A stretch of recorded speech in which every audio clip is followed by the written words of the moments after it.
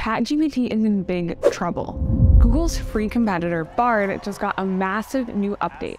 Have you tried it yet? Let me know below. I just tried it this weekend and I spent my whole weekend talking to it, which is kind of sad. If you missed Google I.O. last week, this was the summary. This is AI to bring AI, AI, AI, AI, AI, AI, AI, AI, AI, AI. But Aside from creating great memes, Google did actually make some pretty grandiose announcements that left ChatGPT in the dust. So in this video, I'll give you an overview of the most important updates in Google's AI, and I'm going to show you 10 things that Bard can do that ChatGPT can't. Google rolled out massive new updates to all their AI, including Bard, Gmail, Google Maps, and Google Photos. These updates finally put Google into the AI race against ChatGPT and Bing, but before we talk about all of those, let's focus on Bard.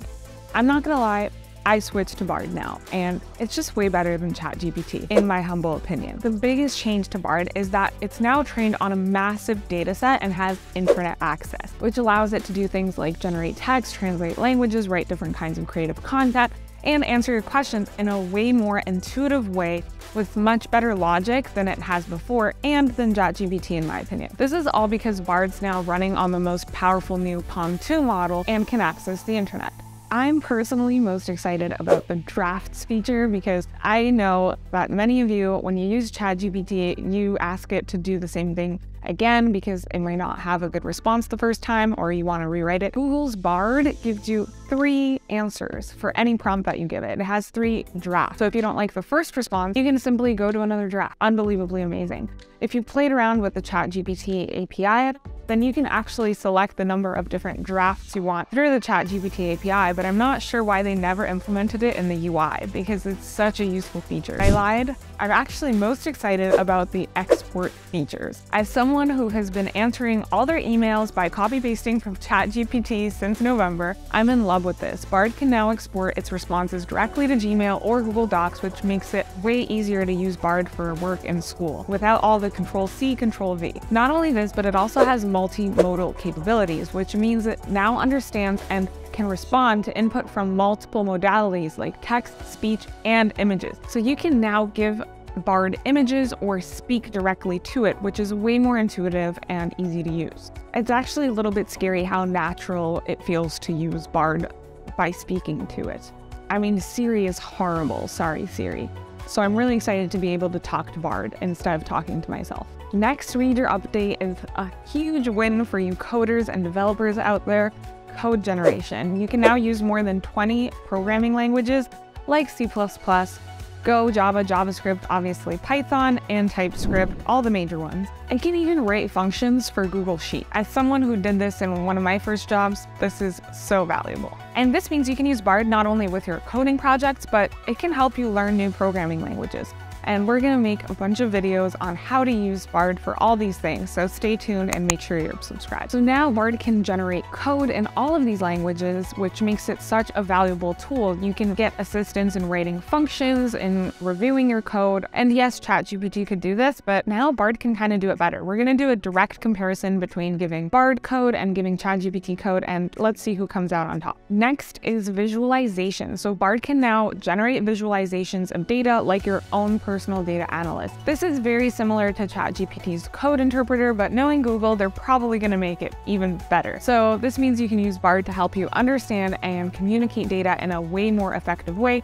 and have graphs and visualizations and all of that. You can now even generate images directly in Bard using Adobe Firefly. So this is a powerful tool for creating visual content. ChatGPT can't generate images yet, so Bard's gonna get all of the content creators on its side. Next is translation. So Bard can translate languages more accurately than ChatGPT can at this point. It can translate over 100 languages and it's constantly being updated with new languages, whereas, you know, ChatGPT's translations are often inaccurate and it can only handle a few languages. So you can now use Bard with all of your translation projects and it can help you learn new languages. So sorry Duolingo, move over. Next big thing, you can now use Bard to create chatbots. So you can create virtual assistants that can help you with a variety of tasks like customer service, scheduling appointments. It can answer all of your questions in a more logical and intuitive way than ChatGPT. And that's because it can now understand the context of your questions and provide more comprehensive answers than ChatGPT, which often provides some not relevant questions and it has a lot of hallucinations. These are just a few of the new features that have been added to Bard, and obviously it's constantly being updated with new features. It's still in experimental mode. I encourage you to check it out. And finally, Bard is now available in more countries. So now it's available in 180 countries and territories,